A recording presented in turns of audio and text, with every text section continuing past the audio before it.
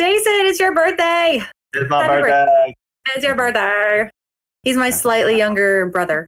What a wonderful world. Do you ever just like scroll through the news and just sing that song to yourself? Not lately. I think of myself. What a Years. wonderful world. You're fabulous, Ben. I'm, I'm gonna hit it. I'm Hit gonna hit what? Let me get Hit what? go. The broadcast is now starting. All attendees are in listen only mode. Who hit the button? I did. Me. Oh, Why do you guys look fuzzy to me? Do I look fuzzy to you?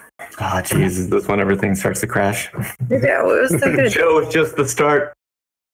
Hey guys, is it is it good now? It's perfect. Hey. Excellent. 98%. That's early. That is early. Hello, everybody. Welcome to the pre show banter. This is not the webcast. What is it, Deb? What are we doing?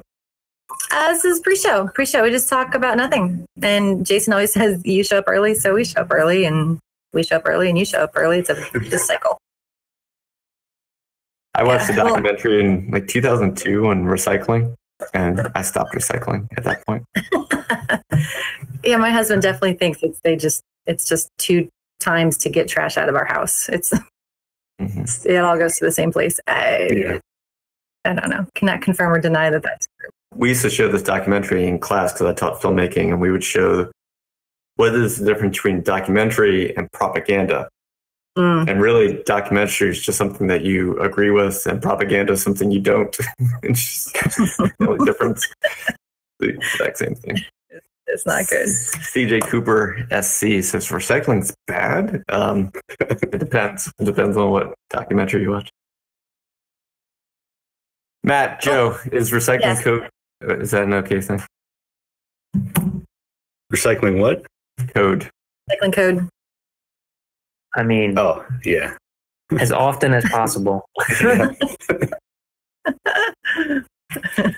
I'm lazy, so everything I can do to make it easier. Guys, it's Jason's birthday. Jason Blanchard, the outlaw. It is his birthday today. So Matt and Joe, you guys work for 40 North. What is 40 That's what they North? tell us. What is 40 North? Yes, give us a little little backstory of what they tell you, what, where they tell you you work. Joe, you want to do it? I was waiting for you to sure. So 40 North, it's the brainchild, I guess we could we could use that term if we want, of uh, Chris Trunser, who was like he authored the Veil framework. I know you guys know Chris, but he's done a lot of open source work. And Chris brought me on in about a year and a half ago. Then Matt, I think about a year ago, and we do solely offensive security assessments. We do a lot of like I mean red teams, pen testing, like like Black Hills as well. We also do a lot of open source work and tooling and I actually worked with Chris before 40 North at our previous company, and uh, he was kind of the the manager, like the leader of the team there, and he was really good. So I uh, followed him here, followed him to his own company. Yeah. you got an offer to to join. They my Yeah. story's a little different. They put a, a posting out to hire and then I applied and I had a great call, good interview. And then they were like, I don't think we're gonna hire yet, actually. We're not ready. And then I emailed them like, No, I'm pretty sure you guys need to hire. They're like, No. We went back and forth a little bit, but I don't know. I somehow convinced Talked them. your way in, yeah. Uh, yeah, so The- that The was uh, social Lead engineering was strong. Didn't Good. you all offer a red team course at some point? Yeah, so we've taught, it's called in, Intrusion Operations, four days. I taught it with Chris last year at Black Hat USA. Mhm. And then we're teaching it in a few weeks at Black Hat Asia. And then Yep. I think a little, we are doing our own like virtual training as well. But yeah, so we do, we got like a red team course, initial access, and then like a, a bridge between like the OSCP and being on a red team. It's like a internal Windows pen testing type course too. You guys want to talk about your class coming up at Wild West Hack and Theft? Yeah. yeah. Joe, you, you're you're better at this stuff than me.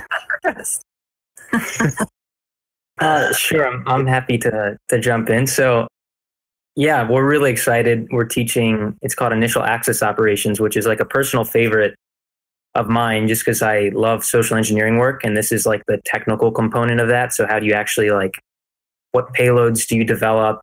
A lot of like hands-on malware, not not malware, but like the droppers, writing that, coding that, and then thinking through how we can you know get a foothold in a network and it's it's literally just that for two full days it's stuff we use very tactical personally i think it's i mean it's my favorite course i don't know how you feel matt you probably like the red team course better but it's a great it's a good time it's super lab heavy Yeah.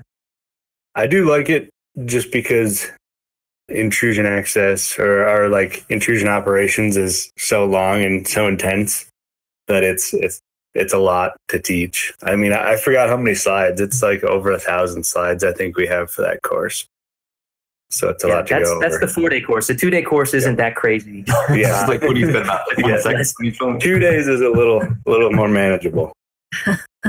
Next. Yeah, but i mean our, Next. our whole our, our philosophy is just like give you guys as much content as we can and mm-hmm. then expectation is you take it back and you digest it over like the next week or two or so so it is jam packed though Yeah, that's kind of how we structure all of our training. Is we throw in as much detail into the slides as we can, and it might be you know some of them might be just even reference slides where we don't really talk through. It just has a whole bunch of data you can reference, and you know kind of go through that you know on your own time.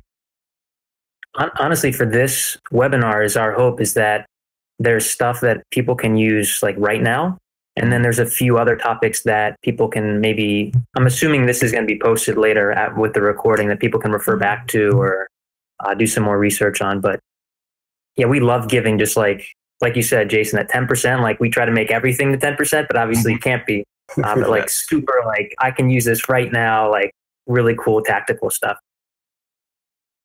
Yeah, and like one of the things that we love is bring people on that just give practical. Like here is hands-on.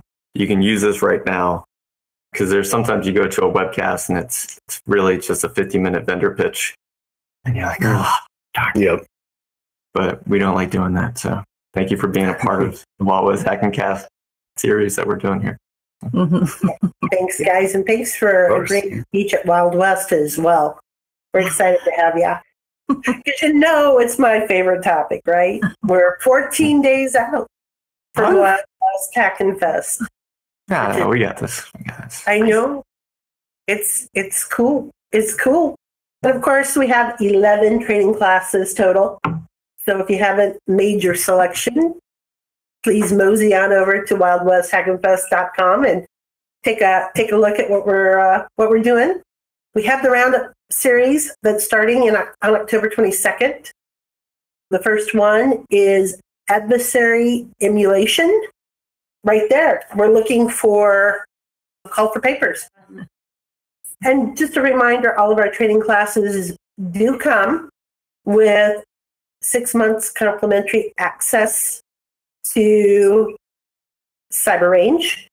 And you do get, you do get the, the training classes, uh, most of the training classes come with come with 30 days worth of recordings afterwards.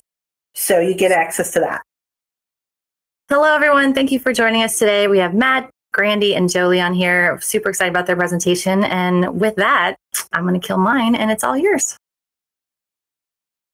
Thank you very much, Deb. Welcome, everyone. I know we're maybe 30 seconds out from starting, but I'm just going to jump into it. So, today is all about offensive, malicious Microsoft Office documents and how we're using them in 2020, as the, as the title slide says, to gain a foothold in an enterprise network. And so a lot of people are surprised that we're still even using uh, malicious macros, uh, but we are. But we're doing things a lot differently than it's been done the last 25, 25, yeah, I guess about 25 years. Um, so this is going to be super tactical um, things that you guys can take home and implement either on the offensive or defensive side immediately. some of the research will be ours, some of the research will not be ours, but obviously we're going to give everybody credit. But this is more just to share with you what we're doing as in the, on a social engineering test, on a red team assessment, on an internal pen test, like whatever it may be that requires us kind of fishing in and getting a foothold. This is what we're actually using. And we wanted to share with you guys. And hopefully, you guys take home a few uh, nuggets of new information. Oh, you've got the slides, Matt. Yep. Uh, so, this is the least important slide. Just briefly, Matt and I both work for 40 North Security.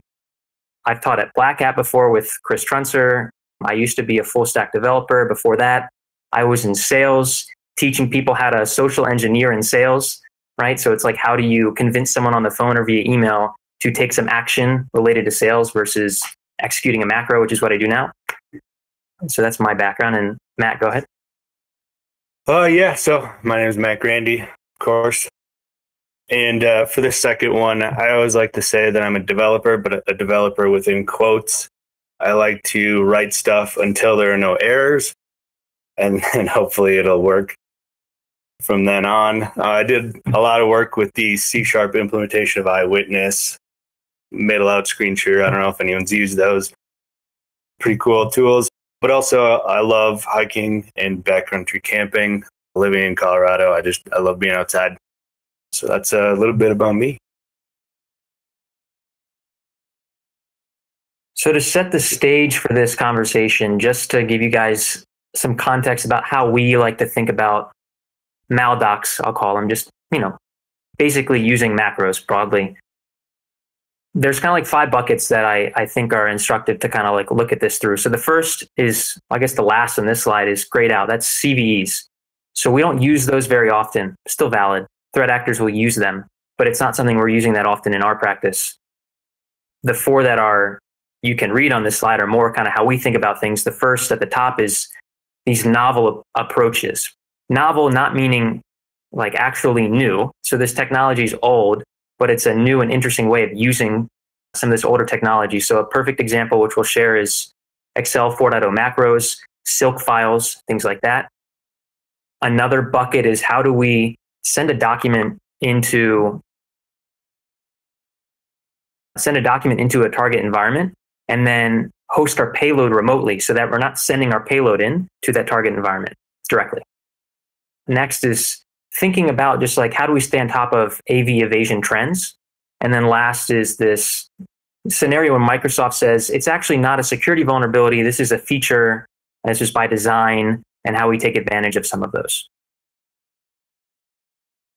Okay, so this is my favorite topic. So I'm really excited about this. So XLM macros. This is not VBA. This predates VBA. It's not XML. I did not make a mistake. It's XLM. And if you were to insert a sheet, right, like right click on Excel on a Windows uh, application of Excel, you would see like the right hand side of your screen. It says MS Excel 4.0 macros. And that's not something that I feel like I ever took notice of, but that's what we can, that's what we're going to be talking about and using. Okay, so like why? Why are we going to use this? Well, this is like the the best example. Exec exec.calc.exe. Like it's that easy. Like we can spin up a new process that simply. We can add in command line arguments, like whatever we want to do. It's really that simple to use XLM macros. If, you, if you've used VBA macros, you know that this is like this looks a lot a lot cleaner. It's just kind of like using the sum formula in Excel. And so all of this research really stands on the shoulders of Outflank. So these guys did an incredible job, specifically Stan and, and the other folks on his team, discovering this as a vector for security researchers, pen testers, as well as threat actors to use to gain a foothold. So if you're interested in learning kind of like where this all started, granted the technology is super old from 1992, but they really brought it to light in a modern day offensive security environment. And now to walk through a progression of kind of like where we've we've been with tooling for this. So it started with Outflank and creating this Excel for DCOM. Maybe some of you all have used it to move laterally just to inject shellcode. That's kind of where it started. And then we went through and found that Silk files could actually, uh, and that's dot, I believe it's SLK files, can use XLM or um, these 4.0 macros. And then we had Sharpshooter, which embedded this functionality into it. So maybe some of you have used Sharpshooter to develop payloads. If you saw this Silk macro enabled document and weren't sure what it is, like this is what it is. From there, the folks over at Cyber Reason, specifically Philip, did a ton of research to make this from just a 32 bit version to being applicable to 64 bit architectures as well. And then from there, Michael Weber, he's at Bouncy Hat. We'll talk about some of his research later too. He created this tool, Macrome, which is a great tool. And it, I believe it takes you from like a .bin file, so whatever payload you want, all the way to manufacturing a Excel file with the macro in it. And then most recently is a tool that, that we released called Excellent Donut. And this is where it was like purely for red teamers. I want to take a C sharp DLL template that does process injection, run it through a tool and spit out my macro. Like that's all I wanted to do. And that's what we, we developed to work on this.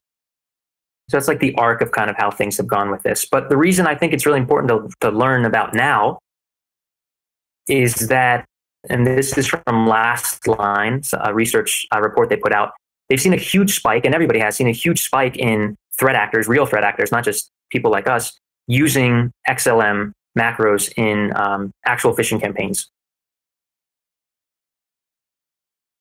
And yeah, here's another another example of that. I mean, if you were to do this Google search probably two years ago, it'd be very few results, and now there's just there's so many. I mean, recent articles, there's malware analysts constantly reviewing postings on VirusTotal. There's a lot of research on it now. Okay, so why like yeah, like okay, that's this is great. It's an old like macro, but like why do we care? And full, four points I put down here. I think one of the top reasons is that AMSI doesn't hook into XLM macros like it does to VBA and others. AV still struggles a little bit with this. It's getting a lot better. Truthfully, when I just started doing some research into this about six, seven months ago, if I uploaded something to VirusTotal, which we don't do very often, but if I did, it barely recognized it. The most recent upload I did, I think like maybe 10 to 12 toolings, tools caught it. So it's getting better progressively, as, as you would expect, which is part of the reason we put this research out in the first place. The other thing is that you don't have to send these XLSM files or Silk files, which, like, the Silk files are really great, but I've never seen one in actually being used before. So it's nice to use a file format that's a bit more expected. XLS files are older, but I think if you're maybe 30, 35 and up, it's pretty commonplace that you would have seen that earlier in your career. And then the most important thing is that we can do classic process injection with these macros. Okay, so I showed you this exec function before. And then on the next slide, I'm going to show you a couple examples of it actually being uh, in use. So on the right is research by Inquest. The left is by Hatching. These are actual screenshots of real Excel files that threat actors have used. You can see on the right, they're doing a, just a living off the land Lobos, uh, just one liner. And on the left, there's a lot of text there, but line 12 is the key. Well, line 7 is downloading a custom executable, and then line 12 is actually executing that custom executable. So that's, that's great. That's kind of simple, though. In fact, I would say, go to the next slide. It's, I would say it's boring. I mean, look, you can definitely try and like if you're just getting starting out with this, like definitely try the exec command. That's a good place to start but we can do a lot more with it. And, and that involves this register function. So this is from like the unofficial XLM documentation because it's so old. There's not really official documentation. Forgot a link to that, but I can get that out to everyone. But the idea here is this register function. And on the next screen, I'll show you exactly how it works. But we can tap into some DLLs, uh, Win32 APIs, and make some calls that we would need for process injection, like virtual alloc. So in this case, this is just the gist of how it works. You specify a DLL that you want, the function you want to call, a method. Data types is, this is really where it gets annoying with this. The tech is so old school that there's like data types are by like J and the alphabet like A, B, C, D, and it's really annoying. There's a little bit of documentation, but that's tough to figure out. You can set an alias for the function call name, and then the settings aren't super important. But that's how we just like register these DLLs in the process to use, and then we can call these functions. So as you can imagine, we can do things like registering virtual alloc, write process memory, and create thread to simply just write some shellcode into our current Excel process and then execute it. Uh, and that's what this example is showing. But for shellcode, it gets a little a little tricky um, because sometimes we'll have non-printable characters. If you can go all alphanumeric, that's great. It makes it a little bit easier. But oftentimes shellcode contains these non-printable characters, and Excel doesn't play super nicely with them in these uh, sheets. So for that reason, we have to do char encoding, I guess. So it's this equals char function. So what it would look like, I'm showing both the process injection and the shellcode.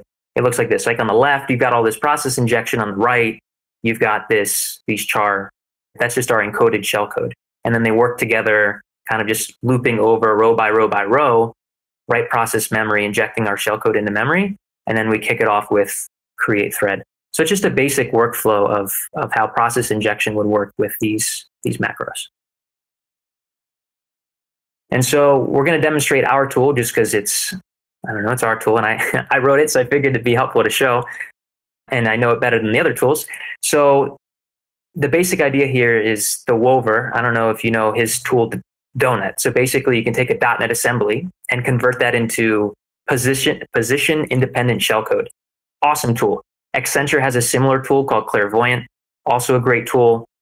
The idea is we are taking a C sharp DLL, like a template that we use for all types of different engagements. And then we stick in our shellcode for, like, say, a Cobalt Strike beacon.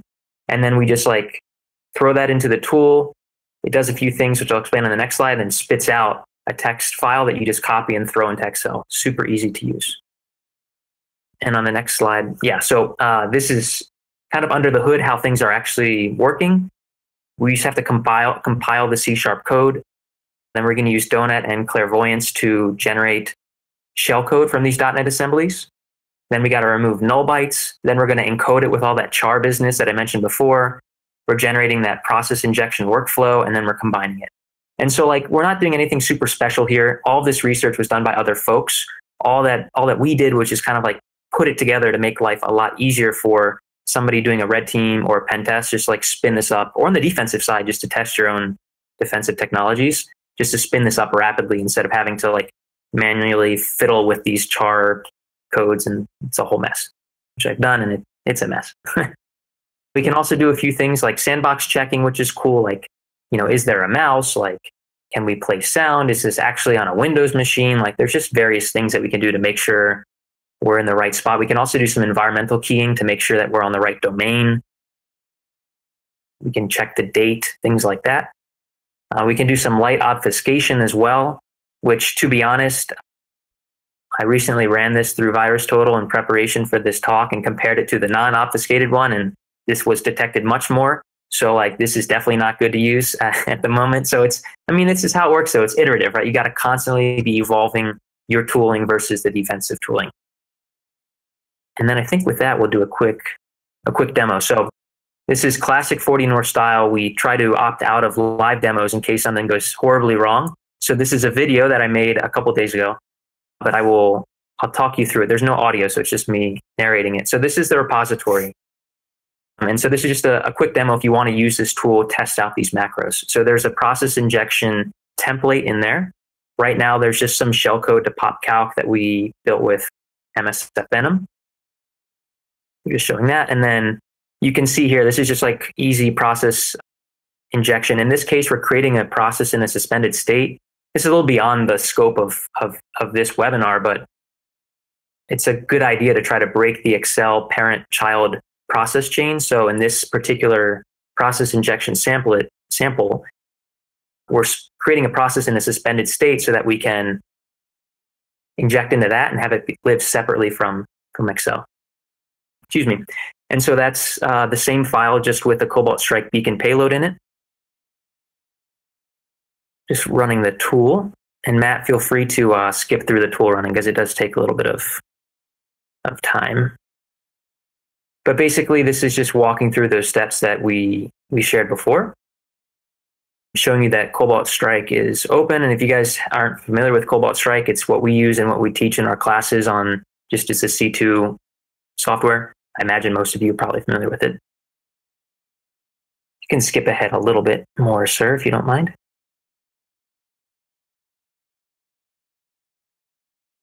There we go. Okay, so once we have the output, it's going to give you a few little directions on what to do with it. But basically, we're going to take this text file and we're going to walk you through how to actually create one of these XLM like macro sheets, which is the first step, honestly. So we're going to copy all of this like char business that I mentioned before. And now we're in a Windows VM. That before was Kali. So you're going to right click on the bottom left. So like where it says sheet one, you can right click, hit insert, and then MS Excel 4.0 macros, the sheet name. So we paste that in there. We do text to columns because it's semicolon delimited, delimited. I don't know how to say that. Maybe Matt can help me with that Delimited. one. Uh, sure. And then that's, I mean, that's pretty much it. Like, I mean, I showed you guys some screenshots of what this looks like before, but this is kind of how it is in action. And this is pretty easy to kick off. You just hit run, and then we can check out Cobalt Strike to see if it came through. And yeah, there's we got a beacon there. So that's that's pretty much it. You can have the same functionality, the auto open functionality as other tools. Right there, you could see how we created that. Basically, you just have to rename the name of a cell. Cells are named like A1, B7. You can just rename them to auto open, uh, and that will provide that same functionality that you're probably familiar with with VBA. Uh, and that's pretty much it. It's um, just lastly just demonstrating the auto open feature working. But that's the basics. And this isn't like an ad just for our tool. The only reason we show it is that I, we specifically built it because it was so frustrating doing this manually. But Macrome came out around the time that Excellent Donut did as well. And that's another great tool that does similar things. So like check out both tools, um, some of the other repositories that have interesting information on, on Excel and macros. If we go to the next slide, just wanted to share a few more things about AV because I mentioned before that it is getting caught. And this is the result of that file that you just saw demonstrated. That's what happened when I uploaded it to VirusTotal. And again, I only did that because that template that I used for process injection is publicly available. So I imagine somebody's already already done that. But there are a few things that we can do to evade antivirus. And please check out malware.pizza. That's the domain. So malware.pizza. So Michael Weber at Bouncy Hat, he's got two awesome blog posts. So if this is at all interesting to you and you want to use this on an assessment, check out these blog posts first because it will go deeply into how to evade antivirus. And I hope he does a talk at some point because it'd definitely be worth it. But I'll briefly highlight a couple of things here. So the first is you can imagine antivirus signaturing on like a thousand char functions. Like that's kind of weird. How do we get rid of that? And then second, how do we hide macro sheets? So for these char functions, I'm on the left, you can see that's how it kind of looks now. But on the right, what we're doing here in B1, we're creating a, another function is basically what we're doing. It's called a subroutine in this case. And that subroutine is literally just returning the value of char plus shellcode.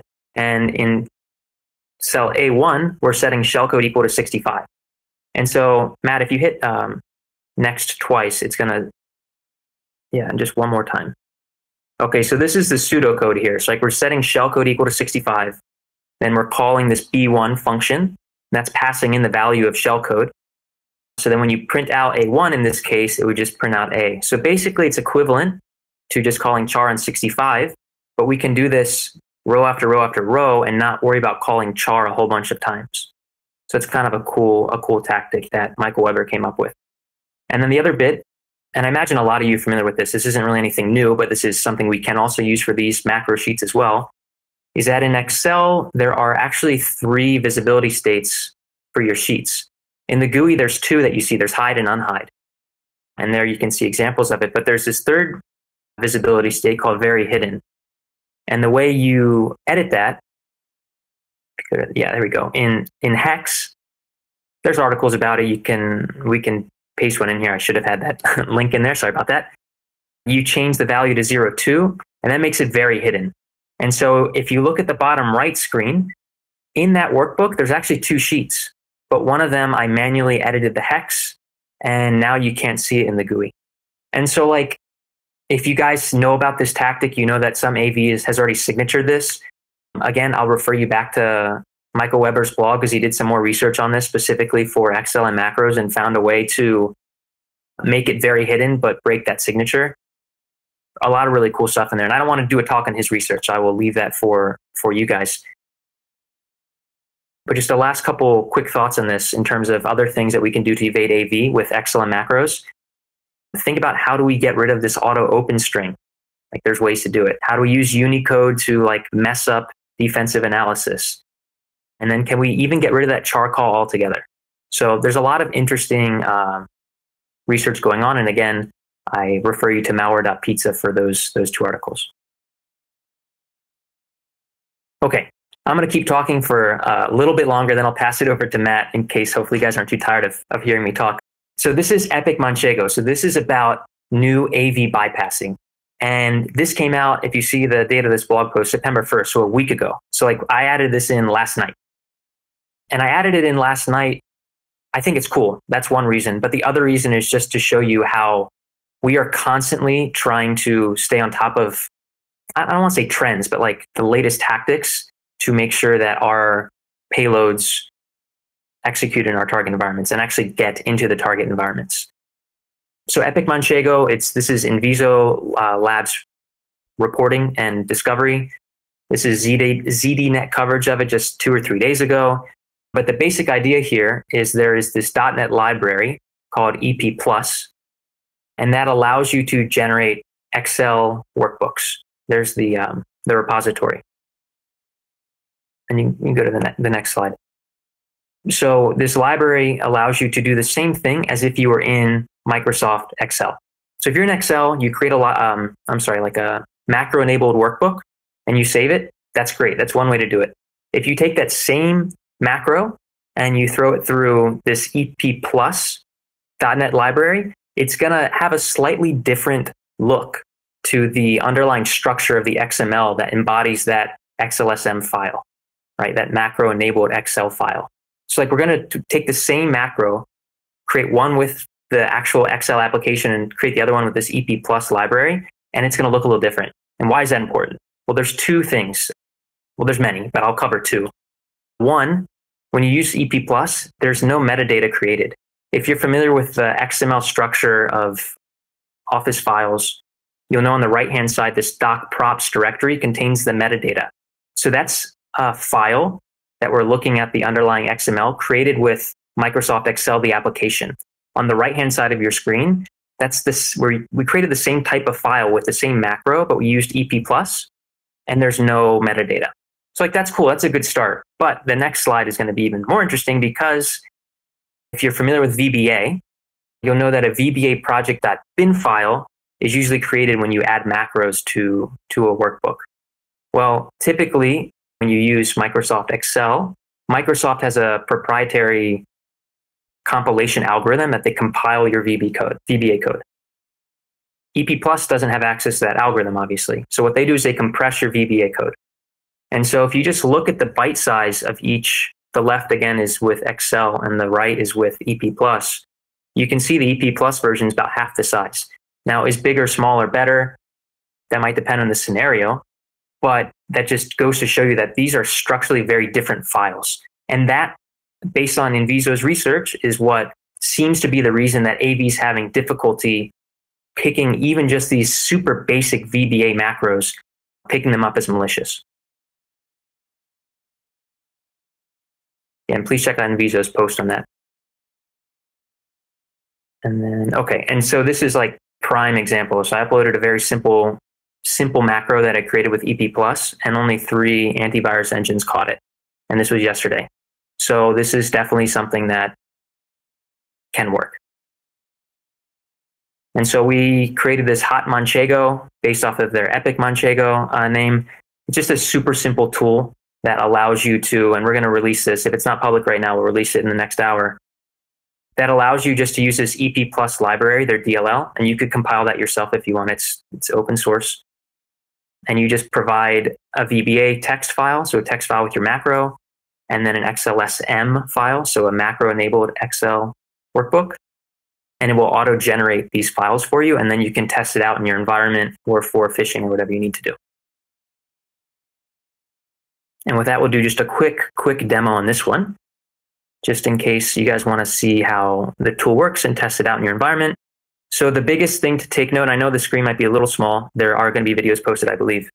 Um, it takes two command line arguments. So one is just first a blank XLSM file, and the second is a text file .txt with your macro. All we're doing is just using this EP Plus library to spin up a new workbook, write in our macro. There you can see the macro on the right. In this case, the macro is just opening up calc. We're calling the shell command on it, which is like super obvious what we're doing here. That's why I say it's kind of strange that well, I uploaded one with the Cobalt Strike script in it. So that was the one that only had three alerting to it. But for demonstration purposes, we used calc. But so we compile this very simply. We just have to put a reference to the EP plus DLL, which is included in the repository. We call the executable, provide those two command line arguments. And then once we open up our file, you'll see it will have this enable content. And that means the macro was obviously in there and there's calc. So like that's nothing fancy. This demo that you saw not fancy at all. The tool's not fancy either. It's really just created super simple proof of concept to help defenders and offensive folks quickly just test this out to see if this is something that they can use or they can't detect, etc. Okay, this is the last, like you guys have like maybe seven more minutes with me, and then I'm going to give it to Matt, and then you can just hear Matt for the rest of the time. So this is an example of social engineering required, right? This is where Microsoft says, thanks for the vulnerability report. This requires social engineering. This is really a feature by design. We're not going to fix this, whatever fixing means. So this is going to be uh, a tactic that we saw published in April under the Ethan Hunt account. That's definitely not his name, but that's fine. And so the basic idea here is in PowerPoint, there are these things called actions. And so you can, you know, put an action on a, like an image. You can put an action on a shape, on text. Actions come in two varieties. There are mouse click and mouse over, so like hover or click, right? And based on those, you can choose a few different things of what you want to have happen. In this case, and I maybe the screenshot's a little small, I'm not sure, but we're going to be using this hyperlink to function. And basically the idea is normally somebody would say, I'm going to put like a reference to a workbook that I have or like a, I don't know, a document on my machine that like when I run through this presentation with somebody watching, I click on it, it automatically opens up that document. They can see it. It makes life a lot easier. So obviously we're going to repurpose that. And we're going to host a payload remotely on a WebDAV server. And Black Hills has an awesome article about how to create uh, spin up WebDAV servers that I definitely recommend looking at. If you look up Black Hills and WebDAV, I'm positive it will be the first result. I've used that many times. And so we're going to make this like external reference to an external WebDAV server, and then we can throw like an HTA in there, a bat file, like whatever we want as the payload. And so the real magic here is if you if you saw on the previous screen, if it wasn't too small, it said hyperlink two, and that was a local file. And I mentioned using a remote file on a web app server. So the way we do that is we actually have to like dig into the XML that underlies the PowerPoint and change a few things. And I'll explain that in, in the quick brief demo that we have here. But that's where we would do it. Okay, so this is like a one minute, one and a half minute demo here. So I will narrate this. So this is just a fake, as you can imagine, a PowerPoint presentation. This little um, fake Windows Media Player can't play file thing is to go along with some pretext of that. This is a presentation and they're supposed to view our file. So I created an action under hyperlinked. I said other file, and then I clicked a local file there. So that is referencing a local HTA file.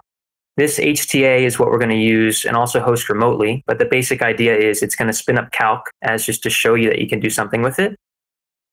But also, it's going to open up a video in Internet Explorer to actually go along with this pretext. So it actually looks like you're clicking this oh, the, the media can't play, but then the video actually comes up. So here, when you see I hover over it, it references a local file. You hit OK. So calc pops up. So that's kind of like the proof of concept that you can inject something in there. And then this is a video file from Vimeo. that we added in there. And I know that went by fast. Again, the videos will be available to view. But so like that was a local file that we hosted. So now what we want to do is we want to make that a remotely hosted file. And so the first thing that we have to do is we have to change the PPSX file. That just means a PowerPoint show presentation file. Change that to .zip. We're going to extract the zip files. And so that allows us to just mess with the XML. Under PowerPoint, slides, rels, and then slide three in this case, that's where the reference to that local file lives. You can see it highlighted there. And so what we're going to do is we're going to edit that uh, XML file to make it remotely hosted on a WebDAV server. Or sorry, reference a remotely hosted file on a WebDAV server. So there I'm typing in and just an IP address we had. Not anymore, don't worry. I tore down the uh, Apache server. And it says just like some random HTA file, right? And you could host it anywhere, obviously, just it has to be a WebDAV server. And so we're going to rezip the internal XML structure from this PowerPoint file. I named it use this dot zip. We're going to rename it use this zip to use this ppsx. Again, this ppsx file, if you're not familiar with it, is a file that you could send to someone so that they don't have to edit PowerPoint. It just shows up like a presentation like you'll see here. And so say they're clicking through, great. You have them click this, oh, I can't see this video, click it. Takes a little longer because it these WebDAV requests do take a little longer than obviously a file in your local system. So maybe 10, 15 seconds. That was in real time right there. They have to navigate through this okay and run business, which people, we know they do. Not everybody, but some will do. And there's the same thing. You saw Calc pop up and also a link to this video to go with the pretext. And so that's that requires a little extra, right? If you go to the next slide, Matt, I share an example of a pretext that I would use for this. I started my career in sales. And so it wouldn't be weird for me to get on a phone call as a salesperson and somebody says, Hey, Joe, I've got these great leads. Would you be interested in looking to my software and my services? And be like, Sure, I always need more leads. Salespeople love leads. Like that's how they live. They make money based on leads. So I would say, Hey, I've got this new service to some salesperson at the target company. I want to share with you a little bit about it or give you some free leads or something. Set up a quick phone call. You send them that presentation beforehand, walk them through it on the phone. I'm like, oh, you guys have to see this video, right? It might sound like a stretch. I know some of you might not do phone based social engineering. And if that's the case, I totally understand how that's, this might seem like something you might not do. I love phone based stuff. And this is definitely one that probably requires the phone. But that's the type of pretext that, that you could use. And there's there's a lot of other ones as well. And to that end, this is like a project that's in its infancy. But if you're interested in contributing or taking a look at it, building a large collection of social engineering pretexts, it's definitely not large yet, but it's on GitHub. It's just open source. Anybody can contribute. But the idea is to put pretexts like that in there, along with the payloads and the goals, so that people can quickly search and figure out a pretext for their social engineering engagements. And with that, I think I can't talk anymore. My mouth is really dry. So I think, Matt, you're going to have to take over at this point. I, I can do that for you. And Cool. that, this, you, uh, this pretext project is really cool. I took a look at it uh, a little bit ago, and uh, there's a lot of a lot of potential there. I like that. So let's let's talk about some remote template injection here. So as for like a background of everything, of course, you know, document macros have been around for a long time and they've been, I would say, overused for a long time. And originally, it really involved just writing some VBA code and putting that in the macro section. Probably execute once the document gets loaded. Something I've done before is you'll have that original document in kind of an encrypted format or something like, you know, wingdings or some weird text that doesn't show up correctly. Once that user would enable the content, it would show up correctly and, and they would hopefully be none the wiser. But you know, a lot of AV EDR products will detect this and they'll block any type of payload execution that it might see. But what's nice is we could actually host this malicious code remotely. Really, why would we want to do this? So, of course, there's always newer detection methods and they're always improving. you know, dropping malicious code, sending that in an email really isn't going to work anymore unless you, you know, heavy, heavily obfuscated, do something that uh, the email scanners won't detect. Another reason is a lot of email scanners will block .doc or .docm attachments, but it's nice that they just allow normal docx attachments, of course, because you have to email people documents. And what's really nice about remote template injection is it doesn't include any malicious code initially. So that first initial document that you send to the user is benign and doesn't include any in any type of stage or code. It'll only contain a link to a malicious tem- template document that the it'll then download, and then they'll have to uh, enable macros from there. So, kind of the credit and inspiration I would I would say for us looking into this goes to some of the authors over at Red Extra Blue. I used kind of their blog and guide as as kind of a reference of, of how to do this, and and it's they have a, a really good research there, really good good blog if you want to check it out. So how it works.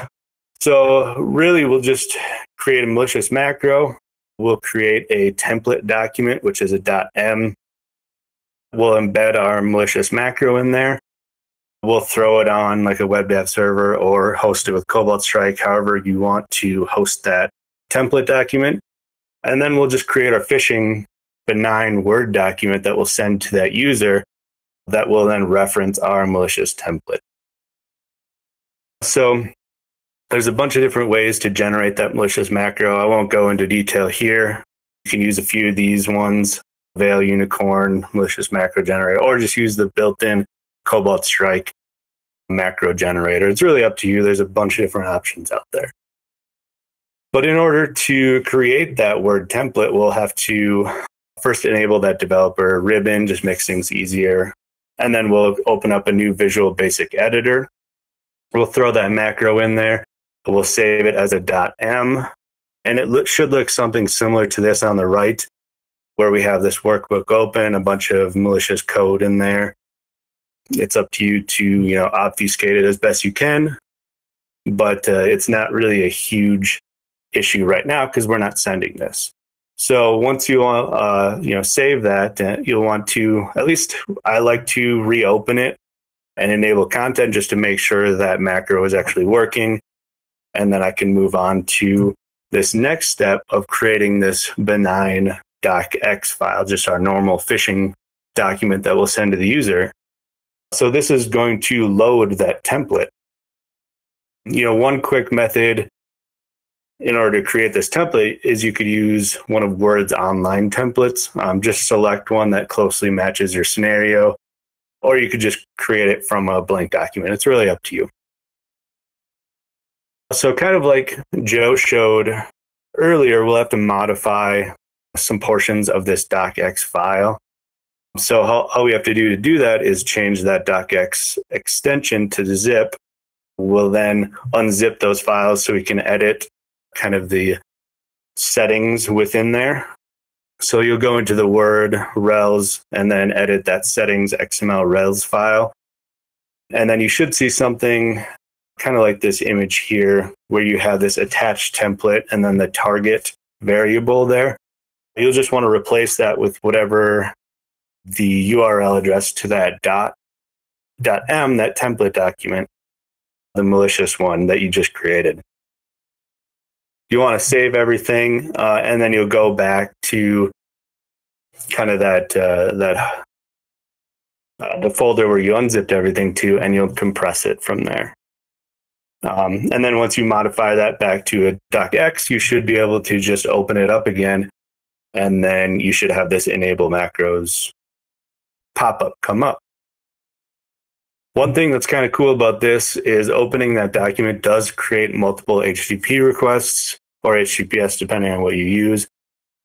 So even before they enable macros, you'll still get some of those metrics that you know they downloaded this or they opened this document. Uh, they might not have enabled macros, but at least you know it got to that point where they actually opened it.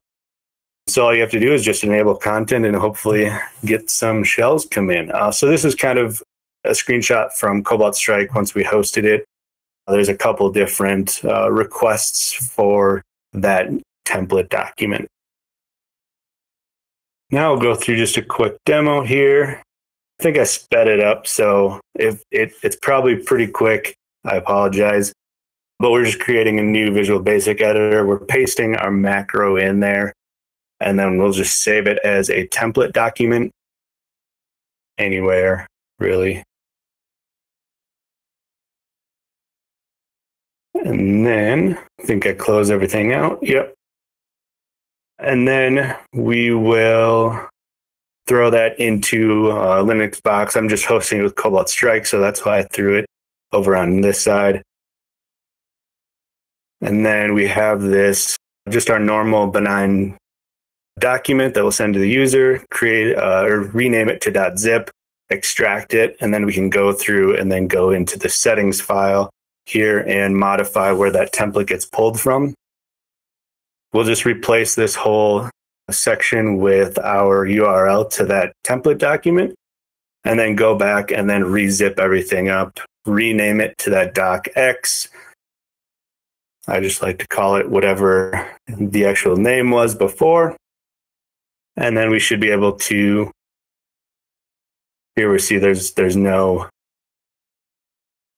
there's no um, beacons in there, nothing in there. We just have to host that template file quickly here. And then just call it something that uh, you know that you would remember, of course. Great. And now all we have to do is open up that um, that dot, dot .x file, enable those macros, or actually before we enable, we can see the couple of uh, HTTP requests that are on Cobalt Strike. Enable those macros. We see the beacon come in, and uh, we can start hacking away. So that's kind of a cool a cool way to not have to send any malicious code to the user initially. So if you are doing, of course, like email phishing, you know this is going to probably get through any type of email filters or anything like that and then your malicious code would then be pulled later later on. One nice thing is, you know, if you potentially notice like a defender is looking at, at your code or, or defender is doing something, or you want to kill the whole uh, phishing scenario, uh, you can just kill that template document, and then, of course, nothing will be pulled and executed. Uh, so inline shapes. This is a, a, different topic here. Kind of interesting. Um, I think we stumbled on it probably a couple weeks ago. But overall, inline shapes, there's a, a bunch of different types of ones. There's charts, charts, comments, uh, you know, pictures. But we'll really be fo- focusing on the text box shape. So I know threat actors are using this did see some mention of uh, you know documents that have this within them that were like thrown on VirusTotal and like a bunch of other different products that would go through and, and see what it's doing. But I would say it's not as common as just like plain VBA macros or something similar to that. So one way we can use this is we can use inline shapes, shape objects to hold whatever malicious code we want which can then be compiled and, and called from a macro itself. Uh, so I'd say all the credit that uh, for all this goes to this laughing mantis, Greg Linares. I believe that's how you pronounce his name. He's done some really good research on this topic, and he was really the inspiration for you know looking into it and diving into it more, and and kind of seeing how I can uh, weaponize it a little bit uh, as well. So, some caveats for this. Uh, the idea overall is pretty basic, but uh, we like to think of it as, as more of a starting point for more advanced uses down the road. I didn't really want to focus on obfuscation here. I just wanted to really get it to work. So, that really wasn't my main goal starting out. So, really, the, the main execution flow of this, and we'll talk about some more ways to um, you know, add in some more creativity here. But we'll create that phishing document. Uh, we'll then use a macro to create an inline shape within the document. Uh, we'll delete that macro and then add in the macro to execute that inline shape. And then all we have to do is save the document and then send it. Uh, so let's do this. So I used Veil for this. I, I swear we're not biased. I know Chris wrote it, but uh, this is what I use because it's easy. It's what I know. So really you can use any macro creator you want. All we really need is this PowerShell payload and execution strings. You don't really need all the other extra stuff with it. And I'll kind of show you show you why here in a second. So once we have that payload, we'll want to create that text box macro that will create that inline shape. So the uh, text box macro here is at the right. I just posted in all of that macro data underneath that. And then this bottom this bottom screenshot is really kind of where all the magic happens, where it's creating a text box. It's adding this text within there, and then that's what it's pulling from, which I'll show you uh, in the next slide here. We'll want to create, uh, at least make sure that it's not visible. So this dot visible variable setting, uh, we'll just make sure that's uh, set to false. And then uh, this key at the top, sorry, I went a little too too fast. The key value at the top is kind of a kind of a secret key that it gets added in. And uh, so you'll see on the next slide here, when we try to execute this, it'll search the entire document for all the shapes. And then it'll search for this specific key within all of those shape shape settings within there. So it'll search for the specific key. Once it finds it, it'll then run it. And we can kind of see that here. If you create, uh, this is the kind of the auto open or, you know, macro that gets created that'll execute that shape. So we have the key here that matches the key in the shape itself. We're just iterating through all the shapes in there. And then once it finds that key, it can then pull out the data from that shape. And then we're using the call by name function to execute whatever was in there. And then, sorry, let me go back here. So, one quick note is this does include this PowerShell.exe string here. I tried to split it up, but that's kind of useless because it gets concatenated and then entered in the shape but I'll show you a way around that here in a second. So the next thing you want to do is you want to save that macro enabled document and then just send it out. The one main thing is it's going to really stop users from looking at the macros and looking at your payload, but it's probably not really going to stop reverse engineers very much. The macro can only uh, uh, can only be executed once unless you change the settings a little bit which is generally good. So it'll be executed once for whoever downloads that macro, but or that document, but it'll still be living, of course, on like the email server and or however you sent that document out. And, and it does this because it deletes that shape after running, so that payload data is no longer available. Which I mean, it's pretty nice to have that. So uh, you will have to send that weaponized documents, uh, that weaponized document. So it's a good idea to look into further obfuscation. But one thing we could do, or a couple different things we could do to bypass AV, we could uh, remove that PowerShell call from that text box and place it within that execution, that call by name function. So right now, if you followed all these directions, Defender will catch it, unfortunately. But modifying these two two different things will let it bypass Defender, and by Defender won't won't flag on it from there. So in the previous couple slides ago, this text frame variable that had that PowerShell uh, split up string within there so I just removed that and then placed it inside the call by name function at the bottom here, just hard coded PowerShell at IDXE in because I know that's what I wanted to run modified these CMD params just a little bit to point to the actual parameters that I wanted to pull and add into there. And then it gets bypassed. So what's cool is we just learned about, you know, pulling code remotely using remote template injection. Well, you can also do that with this as well. You can add these two together. So we can combine that remote template in- injection with these inline shapes, which is nice because we won't have to send that docm, that malicious or yeah, the macro enabled document as a phishing document. So we'll just send a regular docx and uh, it'll pull that code and then execute. And then similar to remote code or uh, remote template injection, we can kill that template to disallow any of that payload detonation as well. So we'll go through just a, a quick demo here. And I just, I turned real-time protection on and all that just to make sure it would work. But uh, we're just going to go to macros. I'll create um, just a, a T one for now. It doesn't really matter. But then I'll paste in this text box creation macro eventually.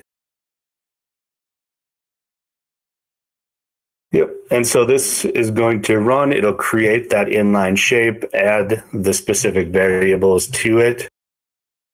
There's no PowerShell in this one for that text variable. All we have to do is run it and then delete it because that shape gets created. And then we will add in our auto open macro. And then that's all we have to do. This one does have that PowerShell, and then I modified the parameters to point to the correct ones as well. And then just a, a couple other sub uh, auto open functions just to make it uh, work with, with all versions. We'll save it as a macro enabled document. And then close everything out. Make sure there's no beacons, our listeners running correctly. We will then uh, just open up that document we created. It'll run, enable content, and then we should see that beacon come in. That PowerShell window does spawn pretty quickly but there are ways to get around that as well. So, yeah, that's it. That's kind of, I would say, more of an intro to uh, inline shapes. Uh, I know there's a lot of different work that can be done to this, a lot of obfuscation and different techniques. But yeah, just a, a cool little starting point there to use something other than just specifically macros with with that malicious code. So we are still using malicious documents on red team assessment. There's three of them that we really primarily use. We'll use probably Joe's tool to create those XLM macros, depending on the scenario. We might use that remote template injection or some kind of new AV obfuscation with uh, another interesting VBA payload that uh, we might have discovered from there. So a bunch of different options depending on the scenario to use but uh, options are good. We always like several different ways to do the same thing. Uh, and this is just a, a, kind of a final slide. We don't really need to go through it, but we'll just be teaching initial access operations with Wild West Hacking Fest. I think we talked about that before. And then with that, that's it. Thank, thanks everyone for listening. I hope you enjoyed it. I have to end it to see any messages. But, and and yeah. definitely a thank you to Black Hills for for the invitation. We love being here, and uh, hopefully everybody can take away a few little nuggets of information, another tactic or two here to implement today or tomorrow on on an assessment. Awesome! Thank you guys so much. Wonderful presentation. Just one, one, a couple questions, but one that everyone's asking is when is the Hotman Chango going to be released to the public? Yes, so we will uh, we'll take care of that in maybe 30 minutes, maybe maybe an hour. We'll t- we'll tweet it out on 40 North Sec is our Twitter uh, handle, but then we'll also post it in Discord as well once that link is live. But we'll do that right after this presentation. Perfect. Sounds good. Any final words, guys? Nope, no I pressure. don't think so. Yeah. I No, think that's it. Thank you so much for for having us. Really, really appreciate it. I love being here. Absolutely. It was our, our pleasure, definitely. And thank you guys for tuning in. Um, we will post the recording in a couple days. Ryan's been doing a great job of just getting them out within days instead of weeks. So we will post that here in the Wild West Hack and Fest Discord server. We'll also make it a blog post so you can always find it on the YouTube channel.